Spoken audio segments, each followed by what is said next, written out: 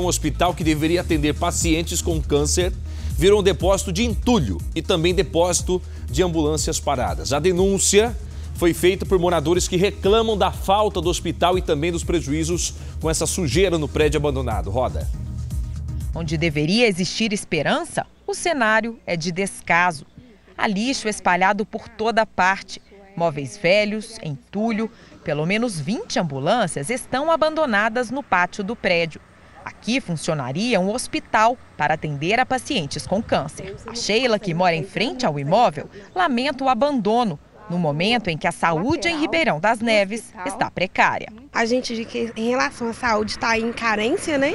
Poderia estar ajudando muita gente, então é totalmente tristeza mesmo que a gente sente né, em relação a essa obra aí. Nessas imagens gravadas do lado de dentro, é possível ver que o mato já está alto.